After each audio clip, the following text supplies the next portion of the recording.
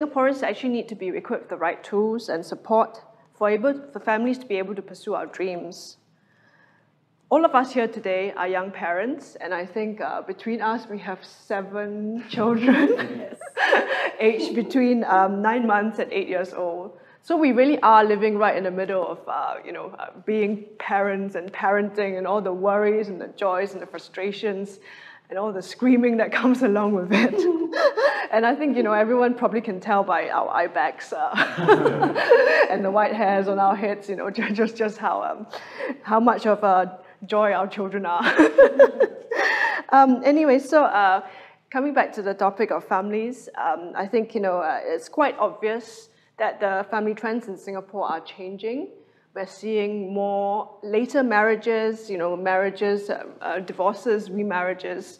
So I think, you know, we really have to have a really good hard think about how our policies, which were probably shaped during a time where, you know, things were a bit more stable or, uh, you know, there was a more traditional family structure, um, then, then, these policies might have made sense then, but I think now they're probably a, a source of strain for some of the families that we're seeing. Um, so I think for me, I, the most important thing is uh, cost-benefit analysis should not really take precedence anymore. Um, you know, we really need to get to the heart of the matter, and by heart, I really mean, you know, the, the some of the softer uh, areas around uh, our families. And um, yeah, so I think uh, this really has to make us think very hard about what, what, what we have to uh, to, to, legislate and the policies that we actually come into force as an economy and as a society. So first off, uh, we're going to have a speech from Dennis Tan, and he will be talking to us about the cost of living. Dear Singaporeans, in the course of helping low-income families and residents in Hougang and Fengshan, I've often been concerned with how residents, especially the vulnerable among us, can afford the daily necessities in life. Some will point to inflation statistics to tell us that prices grew slowly. But if we look more closely at the data, three items that saw higher growth than the headline figure over 2014 to 2019 were education, food, and healthcare. Just last year, the Public Transport Council approved the biggest percentage jump in public transport fares since 1998. This came just as our public transport system is finally seeing its promise fulfilled after billions of subsidies funded by us, the tax-paying Singaporeans. Minister Boon Wan even hinted that commuters may need to pay even higher fares in future. How about the price of water, which did not change from 2000 to 2016? Within two years of telling Parliament that the price of water need not go up, the PAP went ahead and tell us that there's a pressing need to raise prices.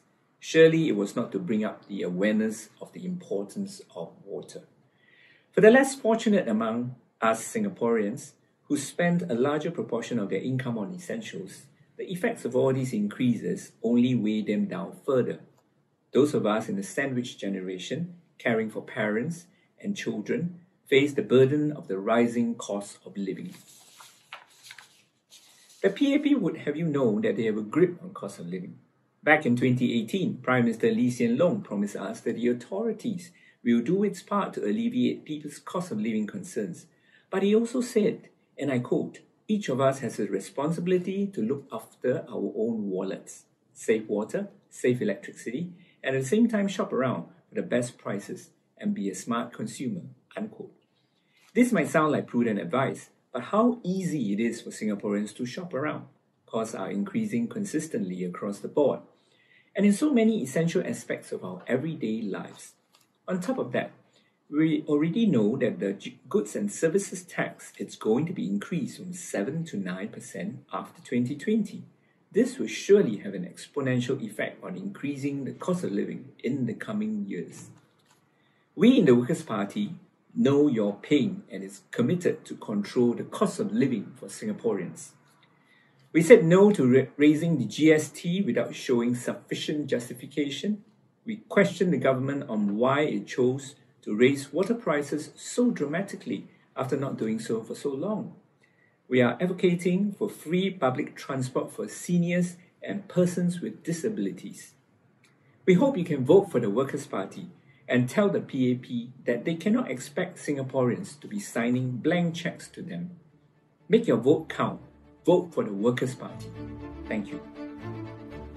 So we've just heard from Dennis, who has discussed with us about some of the issues relating to cost of living, and I think this is a very uh, pain point for a lot of families nowadays.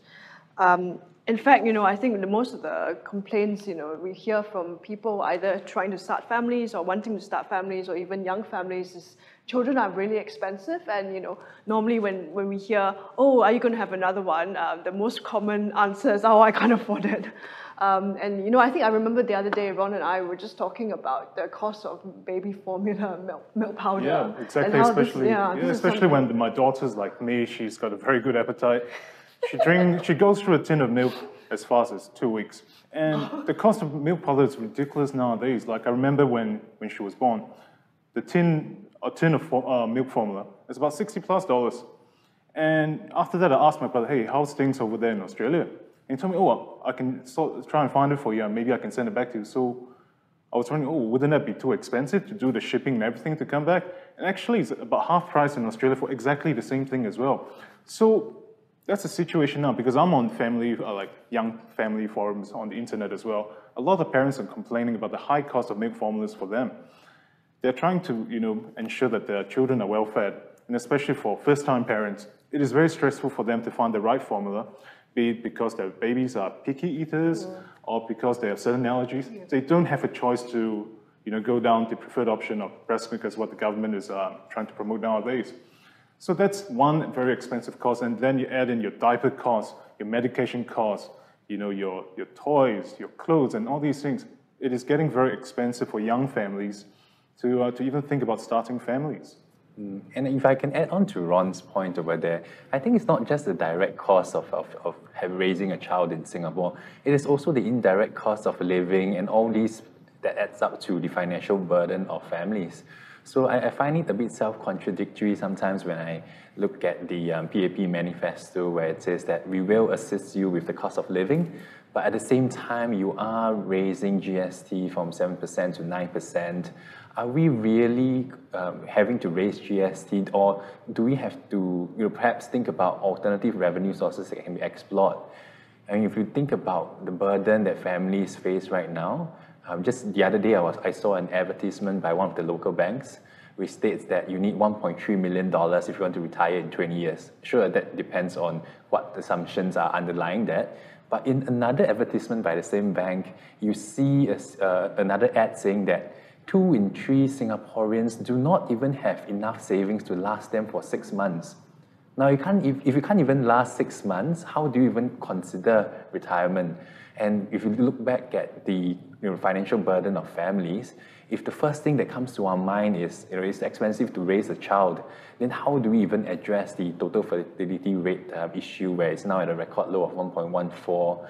And I think we need to rethink the underlying assumptions behind that and really consider what the longer term socio-economic costs would be rather than just think about the short term uh, issues of, of the, the cost of child raising. Okay, thank you, Kheng Wee. Thank you, Ron. And now we're going to turn to the next video, which is by Faisal Manap. He'll be talking to us about the role of families and our approach. Thank you. Keluarga adalah nadi atau tunggak sesebuah negara. Sesebuah negara akan kukuh jika institusi keluarganya utuh. Usaha-usaha pembangunan sebuah keluarga yang utuh perlu dilakukan secara, secara holistik. Antara aspek utama adalah bagaimana seseorang ketua keluarga menjalankan tanggungjawab dan memainkan peranannya. Dan salah satu faktor yang mempengaruhi secara langsung aspek ini adalah keseimbangan kehidupan berkeluarga dan bekerja, work-life balance. Kajian telah menunjukkan bahawa keseimbangan kehidupan berkeluarga dan bekerja adalah penting dalam pembentukan keutuhan keluarga. Mencapai keseimbangan ini adalah sesuatu yang mencabar dalam kehidupan masyarakat Singapura. Di Singapura pada hari ini, masih ramai ketua-ketua keluarga yang mengeluh tentang kos sara kehidupan dan tidak mempunyai waktu berkeluarga yang berkualiti disebabkan situasi kehidupan yang mencabar dan menekan. Salah satu falsafah parti pekerja adalah membentuk sebuah kehidupan yang bermaruah di mana masyarakat atau rakyat Singapura dapat menjalani kehidupan dalam keadaan yang selesa dan seimbang. Parti Pekerja amat menitik beratkan faktor keseimbangan kehidupan berkeluarga dan bekerja. Anggota-anggota Parlimen Parti Pekerja sering dan lebih dan telah banyak kali mengetengah dan menyuarakan pertanyaan dan cadangan yang berkaitan usaha untuk memperbaiki kehidupan berkeluarga terutama bagi keluarga-keluarga yang memerlukan. Saya sendiri telah menyuarakan beberapa cadangan seperti diadakan cuti bapa, semak semula kelayakan pendapatan bagi permohonan rumah sewa awam HDB bantuan yang lebih baik kepada golongan ibu tunggal, semak semula skim COE bagi motosikal, diadakan sebuah sistem pemantauan untuk menilai keberkesanan skim-skim bantuan yang ada dan banyak lagi perkara yang lain. Usaha untuk memperbaiki keadaan ini adalah usaha berterusan. InsyaAllah, Parti Pekerja akan teruskan usaha kami ini selagi kami diberi amanah oleh masyarakat Singapura untuk menjadi suara anda di Parlimen pada pilihan raya umum kali ini. Undi anda memberi kesan kepada kehidupan dan masa depan keluarga anda. Manfaatkan undi anda, undilah Parti Pekerja. So Faisal has just spoken to us about uh, looking at families as a more holistic, uh, in a more holistic way, and also uh, about some of the ways that we can achieve this. Uh, Sharif, I know you have some views to share on this, and so maybe you'd like to just. Yeah. So Faisal Manap's uh, speech touched on work-life balance. Singaporeans, according to the Ministry of Manpower, uh, works about 44.7 hours a week on average in 2019. Add commuting time to that, I think there's only a handful of hours left for the uh, parents to interact with children. The situation is even difficult if you consider dual income household where both uh, spouses are working and let alone single parent, right? And um, for those from lower income household, uh, I, I used to work in low wage work, and the way we make ends meet is by doing overtime work or taking on another job. So it is quite common for you know a, a spouse, a parent to be absent, and usually it's the father now, Faisal proposed a number of initiatives, one of which is uh, paternity leave. Uh, in addition to that, I would also like to uh, propose that the work from home arrangement, which we saw during the COVID-19 period, be extended to beyond the COVID-19 period. One of the complaints that uh, against uh, work from home is that uh, it affected productivity my view is that it might be the case because there was only a uh, very limited grace period to implement a work from home arrangement.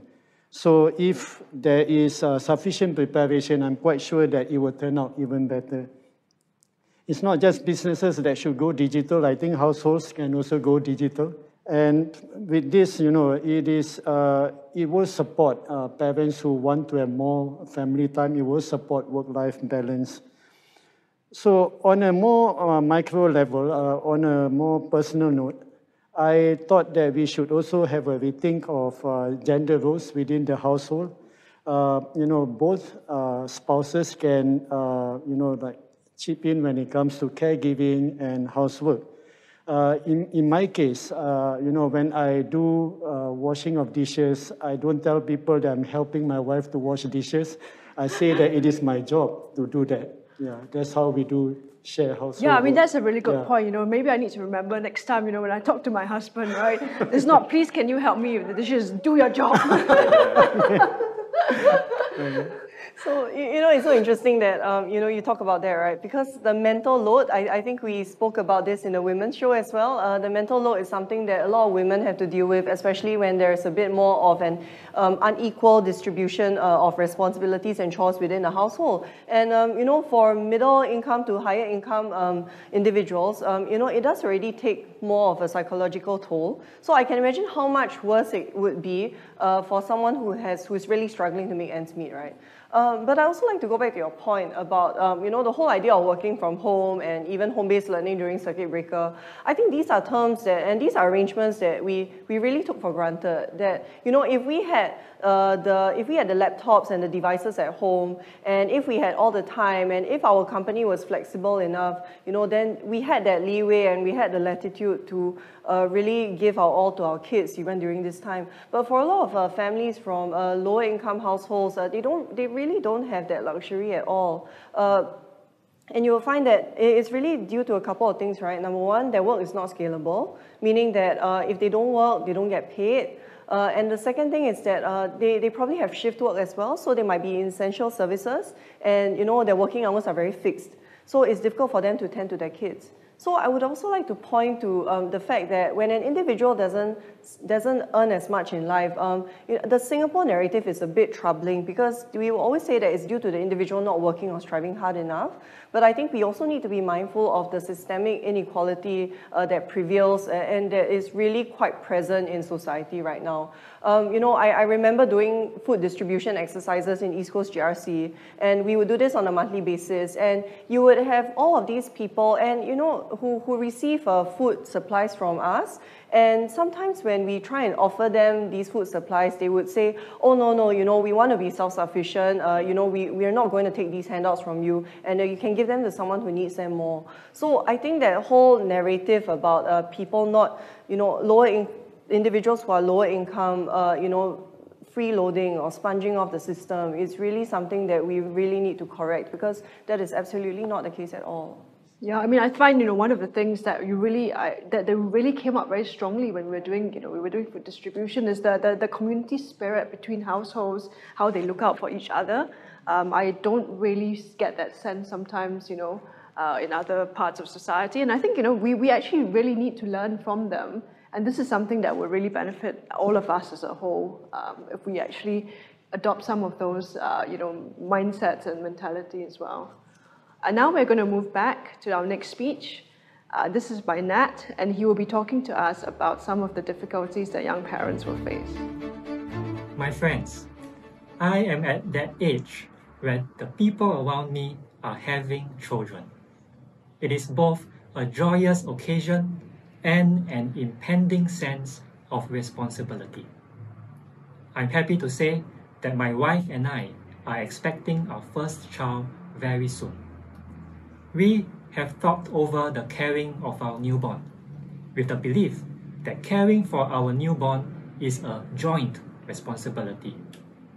That means that my wife will be taking her maternity leave while I will be taking my paternity leave. But do you know that in 2018, 65% of fathers did not take their paternity leave? Could it be society's expectations of women being the primary caregiver while men simply play a supporting role? There remains a stigma when fathers wish to play a more active role in raising children.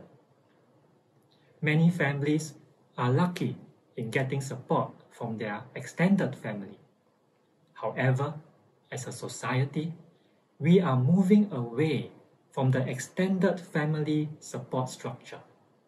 And this support may not be available to all families. To support our fathers, we can change our family leave policy to be gender neutral. That can begin by enhancing the existing shared parental leave scheme. This scheme combines maternity and paternity leave into a single shared parental leave entitlement and empowers parents to decide how to care for their newborn. Furthermore, the Workers' Party also proposes increasing the total parental leave entitlement from 18 weeks to 24 weeks, giving all parents an additional 6 weeks to care for their infant children. Throughout my grassroots work, I have observed that families are changing. There are more single parent households, more families who would like to but are unable to have children, and more marriages between Singaporeans and foreigners. Policies must keep up with the changing times. We propose to equalize childcare subsidies for all women regardless of status. We believe that fertility support can be enhanced for those who need it. For the sake of the children who deserve care from both parents, naturalization of foreign spouses on LTVP Plus should be fast-tracked. My fellow Singaporeans, we can live in a society where parents can feel free to care for their child. We can live in a society where policy changes to a changing time. Let us bring our proposals to Parliament. Make your vote count. Vote for the Workers' Party. So we've just heard a speech from Nat where he talks to us about the importance of having policies that actually support more gender balanced families. Uh, Louis, you know, as a young father of a nine-month-old boy yourself, I'm sure you know all this is very pertinent to you. Mm. Uh, I'm just wondering whether you can share some of your thoughts on these. Mm, I would agree with that Dan. I'm sure Ron would agree with me that you know I'm very proud to say that I'm a diaper changing dad. so you know, over the last couple of months, I'm glad that I've been able to learn to feed him, change his diapers, and really just be a father to him. And I think it's time that we recognize that, th- that there should be an equal sharing of responsibilities when it comes to bringing up a child, and fathers too have an important role to play in the ed- education of their child. So it's one where, you know, I think this is a point mentioned by Nicole and, and Sharif earlier, that we really ought to think about whether or not there can be greater flexibility when it comes to work from home practices, when it comes to allowing families the additional flexibility to, to tend to their child. And I think it's something which, again, the narrative has been that, oh, if we give employees more childcare leave, more parental leave, it actually harms productivity. It's, it's bad for the company, it's bad for the economy. But I would say that it's, it's really the opposite where you know if you do provide the additional flexibility, the additional time off for parents to focus on their child when they need to, so that they can focus on their work, um, I think it's something which would even raise productivity. And this is something which I believe that a lot of companies here in Singapore have also recognized. And there are many progressive companies that have even 26 weeks of parental leave for both parents. Yeah, I mean, I'm quite pleased to hear we have some champion pooper scoopers uh, amongst us. um, anyway, so um, yeah, I think, you know, it's, it's obviously, you know, Kheng Wee shared with us um, you know, some, some of his uh, experiences as a father, you know, how, how he feels that he could be better supported for that. Um, but I think it's actually also very important for us to remember that uh, we, can't, we, we, we also must remember that you know, not every couple who doesn't have children uh, actually has chosen to be that way. Of course, there are some who have chosen to, to, to not have children, but um, you know, from, from, from conversations and from some of the data, it does actually show that there are many Singaporeans, Singaporean couples who are actually struggling and um, you know, uh, to have children, and they're, they're struggling within the system to, to find the right support. Uh, just wondering whether Nicole, you had anything to share about this. Yeah, uh, so actually, Ru is a matter that's uh, very personal to me and very close to my heart. Uh, also because I had quite a bit of difficulty conceiving, and um, I managed to conceive my daughter via IVF.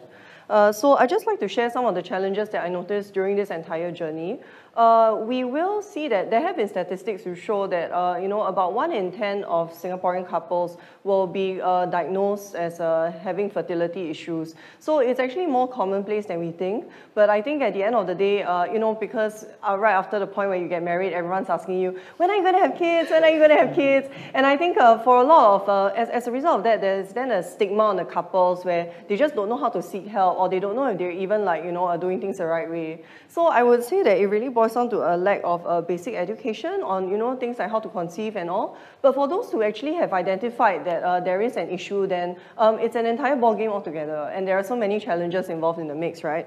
Uh, one of them would be financial. So um, obviously there is a huge financial cost that is involved in the entire process. Um, and also the lack of knowledge again. So there are so many different procedures out there and they are all like, you know, for different kinds of like ailments and uh, illnesses. But how do we identify and how do we um, put that public knowledge into the hands of people to make the best decision on what is the right choice for their body and what will result in the best outcome and the best um, if result. Uh.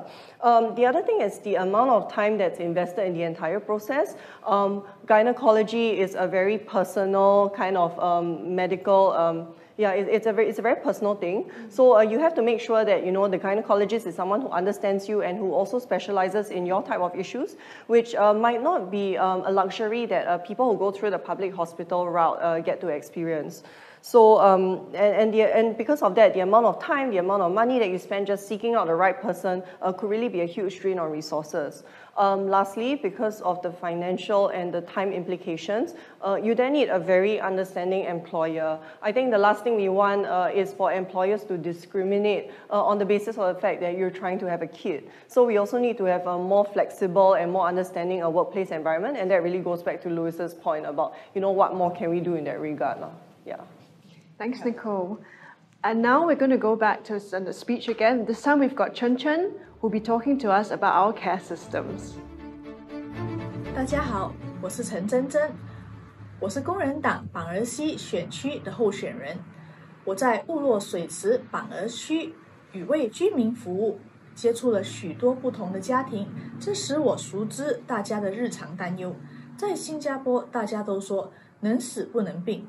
这是因为医药费一直不断的往上涨，虽然终身健保让病患能应付大部分的住院费，但是他们每年最多只能保到十万块，病人也需要共同承担百分之十的费用和保险规定的自付额或免付额。大家想，如果一个人需要长期住院，需要住在加护病房。还有一些昂贵的治疗和药物，那一年十万块足够他们付医药费吗？再加上有些昂贵的药物治疗是不包括在终身健保里的，这些钱都需要病人自己付，这增加了家病人和家属的负担。工人党认为，调低自付额和共同承担额，每年十万块的顶额。也应该不设限，这才能确保人民能够负担得起医药费。在新冠状病毒疫情下，有很多主妇、家庭主妇必须时刻照顾家中在家中工作的家人，不少母亲要同时工作还要照顾孩子，这都是重要的劳动。不过，却是无偿的劳动，这也是新冠状病毒疫情爆发前就存在的现实。许多国人只是在这期间才亲眼看到。工人党认为，任何劳动都要得到合理的支持和协助，在家负责照顾家人的家庭主妇也不例外。工人党会一直与大家同行。为无声者发声，请投工人党一票，让您的一票成就未来。谢谢。So we've just heard from Chen Chen, and she's talking about the various care systems. I think you know we've heard this word holistic a lot, but you know again, once again, I think we really need to look at the care systems as a whole rather than just separate healthcare, social care, infant care, because there's so many overlaps between these, and if we really start to compartmentalize all of them, I, I, my fear is that really things will start to slip through the cracks and we don't actually maximize efficiency. I'm just wondering whether, uh, Sharif, this is something that you've, you know, you've studied before, and I'm wondering whether you can share some of your thoughts on yeah. how we can tackle some of the issues. Yes. So I had the opportunity to conduct focus group with uh, economically inactive women. Actually, they are far from being inactive. Uh, many of them uh, actually uh, sandwich between uh, caregiving for old age dependents and caregiving for young uh, dependents. So when I asked them whether if they have a choice, will they work? And many of them said yes, they will work. And this has largely to do with cost and, you know, uh, I mean, you have two dependents to take care of, right? So uh, one of the things that are preventing them from working is that although we have, uh, uh, you know, companies uh, offered work-life grant to implement flexible work arrangement, most of the respondents were saying that they have difficulty finding employers who can really offer that kind of uh, flexible work arrangement. So what I, uh, you know, observed over time was that many of them take up jobs like food delivery work and uh, also home-based business. Now these are these are okay, you know. They, they, they, such jobs give them flexibility and all that, but they, it doesn't put them on a career pathway. And there are the issue of uh, there's the issue of uh, CPF contribution, and also the question of whether there will be retirement advocacy in the longer run. What I feel is that there should be greater recognition of, uh, you know, the contribution of informal uh, caregivers. Uh, and, you know, like workers in formal employment, they should, uh, there should be a recognition that they too contribute to the nation. Yeah. Like speaking about, you know, recognizing unpaid labor, a lot of families, a lot of family members are sacrificing the, their time to help look after the family. So I'm very grateful to, to my mother and my mother-in-law for helping look after my young kid. Because if not, how are we able to find childcare facilities for them? And as you know, and as you, um, a lot of young families know, they are facing challenges to find available slots in the you know, childcare facilities within their neighborhood to, to put their child there while they go to work. And on top of that, they have to get out of their own estate to travel further down so that they are able to find childcare facility for their child. And that's quite disheartening because they're trying to do the best for their own family as well. But unfortunately, we do not have such facilities or enough infrastructure to provide such facilities for families. And that's just looking after the young. What about the old as well? People are aging. Singaporeans are aging. We need to have these facilities in place to ensure that we have the best facilities and adequate facilities for all Singaporeans. Next, we have a speech by Terence Tan, and he will be talking to us about the education system. As parents, we all have hopes and ambitions for our children. I have two young children, aged three and two. They love going to preschool and learning through play. They get upset when the weekend swings around. Many of my fellow candidates have children too. Our common hope is that they go to schools that nurture their curiosity, their creativity, that instill in them a lifetime desire to always keep learning and growing. After all, the next generation will need to navigate an increasingly disruptive world. What better way to help them than to equip them to become the disruptors in a disruptive age and create jobs and a vibrant economy for themselves and others? But there's still so many horror stories on education that we hear during our outreaches to residents, at the primary and secondary school levels, we hear that the number of assessments and examinations are overwhelming.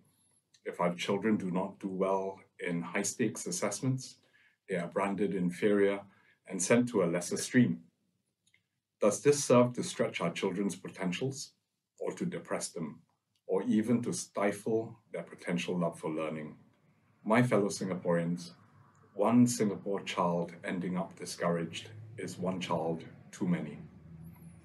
We have heard that various educational reforms are underway. That feedback has been taken by the Ministry of Education that the objectives of maximizing every Singaporean child's potential and to nurture them in a lifelong desire to learn were not being wholly met. The Workers' Party intends to see that these reforms are met. If elected, I will work with my colleagues to follow up on the MOE's reforms and play a part in ensuring that our younger Singaporeans will truly benefit from what the ministry has already promised the development of a lifelong joy of learning and more pathways for Singaporeans to succeed. Our education system must also remain accessible to all, particularly to those from disadvantaged backgrounds. I count myself lucky to have enjoyed the benefits of a good education and good schools in the 70s and the 80s. My fellow classmates came from all walks of life. Many in my cohort went on to achieve fulfillment in many fields as a direct benefit of being given a good education. But we cannot pretend that the playing field is level. The Workers' Party believes in active intervention to seek out ways to level the playing field, whether be it through smaller class sizes or ensuring equitable funding to all schools. No young Singaporean must be deprived of a holistic education. The Workers' Party believes in supporting Singaporeans to achieve their full potential and seeing them blossom into world beaters. Should you agree, I ask that you vote for the Workers' Party. Make your vote count. So we've just heard from Terence about the education system, and this is a topic that's very close to our hearts. For me personally, I actually believe that, um, you know, I think there's a very strong need for access schemes to be put in place to give greater accessibility for children from lower income and disadvantaged families uh, to get to universities and also even to the professions. Uh, I think a lot of things that many of us maybe take for granted is that uh, we, we know, we are familiar, or at least we, we know people who have gone through the similar application process and you know, who know what to do in order to get there. So I think, for example, in the, in the UK, um, a lot of universities, especially the top universities, they place a lot of emphasis and a lot of um, emphasis and a lot of uh, importance on these, these access schemes. When they have very targeted program, they actually pair up, for example, current students with uh, identified mentees, so it's a mentorship kind of program. When they actually do bring these students from um, from, from, from very disadvantaged backgrounds, but have very good potential and they, they're you know, very bright and uh, could, could actually benefit from a bit of mentorship from current students to helping them understand what the applications process is, helping them understand, you know, even things like, you know, when going for an interview, how do you, interview preparation, how do you dress? I mean, something as basic as that, that many of us take for granted. Um, you know, I think this is something that we can do in Singapore and not just for universities, as I said, but also for professions as well. Because you know, job interviews are scary, especially when you're coming out of university. And I don't think um, many of us could have done it without the support and the preparation given by people around us. So I think um, one other thing that I would really like to say about this is, uh, you know, we really have to challenge the narrative that uh, widening access to education, to opportunities will actually result in a more competitive or uh, more difficult, um, a more challenging competitive playing field for everybody. I think actually we are looking at a situation where these guys, you know, when we actually get more people, you actually increase the talent pool. And I think it's actually very important that, um, you know, we, we, we focus on this. Personally, I'm someone who makes, uh, who is in the position of making hiring decisions. Uh, so what you've rightfully pointed out is that we need to do more to protect our Singaporean workforce, uh, especially the ones who are entering the industry right now at such an uncertain time. Uh, one disturbing trend that I've noticed is that uh, I think it's, there is a sense of that there is a lack of uh, youth employability readiness where, you know, like what you shared, they might show up to an interview dressed in like denim cutoffs or they're not prepared or they don't even know, uh, you know, what the company does or what job they're applying for. I think we, you know, sometimes it's too easy for us to chalk that up to that being the fault of a generation to say that, you know, are they so spoiled and are they so sheltered that they did not even bother to prepare and they don't have the fire in their belly anymore compared to the older generation. But I think that's also a gross generalization, right? I think on our end, like we need to consider what kind of um, systemic um, measures can we put in place to improve that and make sure that our youth are ready? And also we see that, you know, it's not just so much about technical competence anymore. You, you could take a course. There are so many courses out there, right? There is Skills Future, you know, you can apply for so many of these things. And then they will give you a certificate that then allows you to, you know, get that foot, in, foot through the door uh, if you're applying for a mid-career switch. But we also know that these, such causes are very theoretical in nature and they just scratch the surface. So if you really want to be able to adapt, you really want to be able to like, you know, assimilate into like uh, the global workforce especially, then we need to be able to develop our soft skills. We need to be able to be more resilient. We need to be more adaptable. So just to give you an example, um, when I'm in the marketing industry, we do see that the trends and the kind of technology that we use shifts on a six month to one year cycle. So if you don't learn fast enough, then you're just going to get left behind. Uh, lastly, I think in terms of tertiary institutions, and you've shared some about that already, uh, we do also need to make sure that we shift away from being very academia focused to seeing what more we can do to create that hands-on experience for uh, our younger Singaporeans. Yeah, uh, just to add on to that, right, uh, on the issue of focusing on academia. And I personally, personally I feel that uh, class sizes should be reduced. Now, I understand that if you reduce class sizes, then there will be the issue of cost. You know, you need to recruit more teachers, you need to have the facilities, and maybe it might even result in schools having to restructure their, you know, their, uh, their, their environment.